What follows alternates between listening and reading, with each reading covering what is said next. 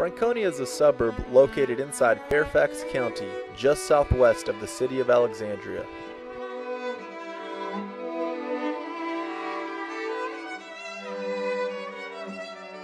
Manchester Lakes is a neighborhood in Franconia.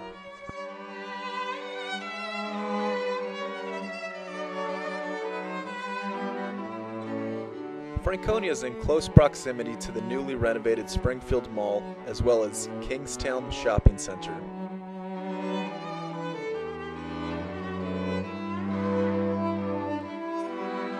Franconia has a metro station on the Blue Line.